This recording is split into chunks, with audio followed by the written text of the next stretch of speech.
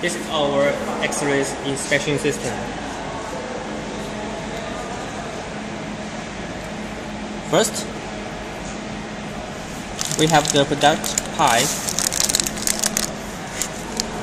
I will show the operations how to use it. First, click the product button and we create new product.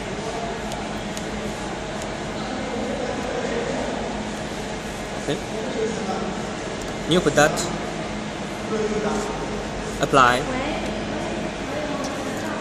Then we have the product name to change to apply. Click auto learn to get the parameters to inspection.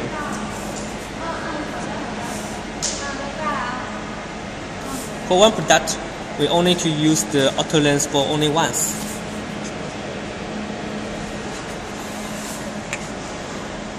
Start. Input product for six times. 小四，你站这边。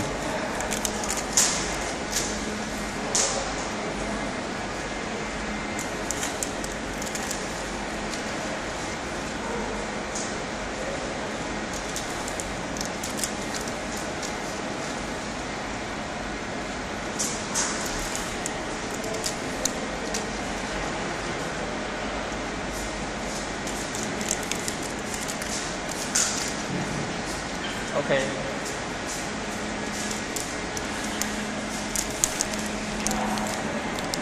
After auto learn, we will return to the main menu. Then we click start to begin the auto detecting. Now we have the test piece.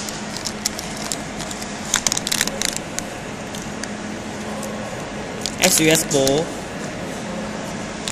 glass ball and the ceramic ball. SUS ball.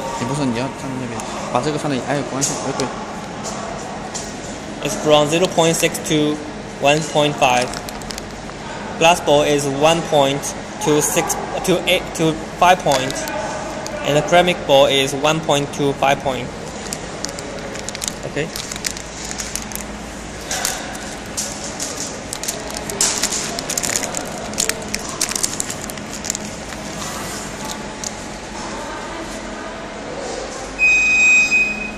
Okay.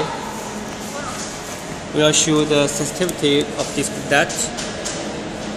The SUS ball is 0.6 and uh, the glass ball is 1 point. And the ceramic ball is 0.5 uh, 0, uh, 1.5 okay. That's all 可以了是吧？